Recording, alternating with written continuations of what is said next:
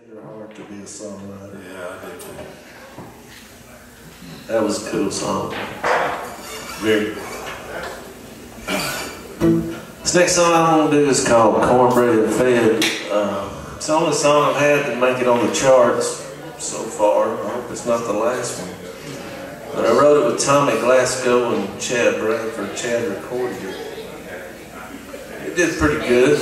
We're proud of it. Uh,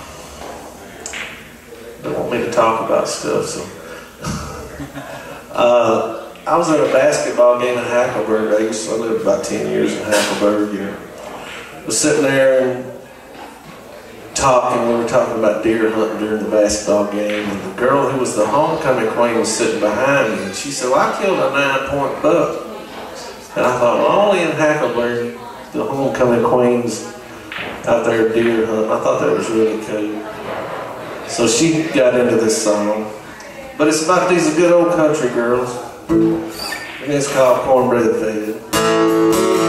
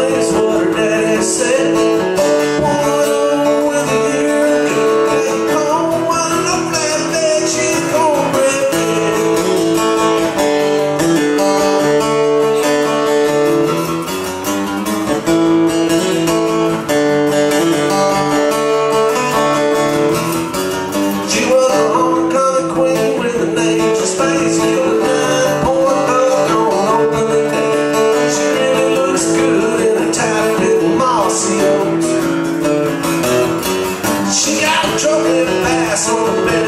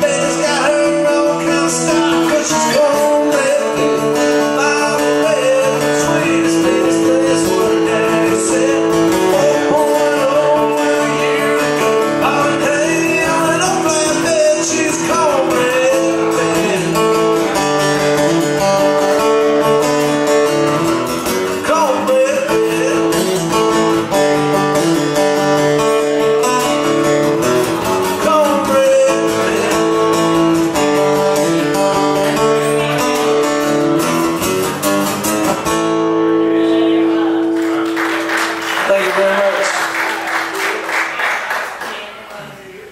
While we're on the subject of uh,